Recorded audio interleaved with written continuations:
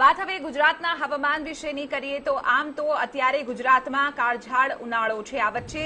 આ વખતે દક્ષિણ પશ્ચિમ ચોમાસું વહેલું આવે તેવી આગાહી હવામાન વિભાગે કરી છે. હવામાન વિભાગના જણાવ્યા અનુસાર બંગાળના અખાતમાં દક્ષિણ પૂર્વ ક્ષેત્ર અને તેને અડીને આવેલા દક્ષિણ અંદમાન સમુદ્રમાં બુધવારે સવારે લો પ્રેશરના બે ઝોન બન્યા. ચોમાસું પંદર મે બંગાળના દક્ષિણી અખાતના મધ્ય ભાગોમાંથી આગળ વધીને શ્રીલંકા પહોંચશે સોળ મેની સાંજ સુધીમાં દક્ષિણ પશ્ચિમ અને પશ્ચિમ મધ્ય અખાત ઉપર ચક્રવાતી તોફાન સર્જાઈ શકે છે